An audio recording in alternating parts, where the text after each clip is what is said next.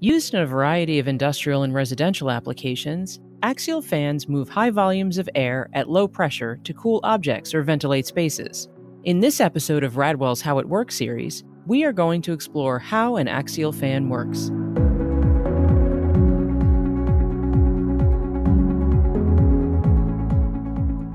First, let's review the main components of an axial fan.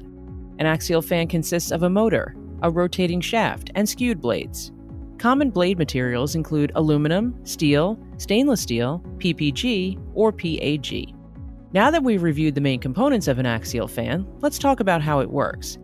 First, the motor powers the shaft to rotate. As the shaft rotates, the blades also rotate, pulling air in. The air is then forced out parallel to the shaft.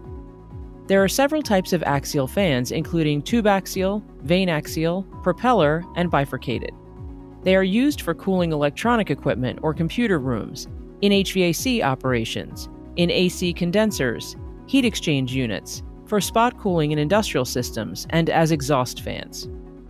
If you like this information on axial fans, like this video and subscribe to our channel for more information on industrial products and processes. Also, be sure to check out our What Is video to learn more about axial fans. For information about Radwell, visit us on the web at radwell.com or connect with us on social media. Thanks for watching!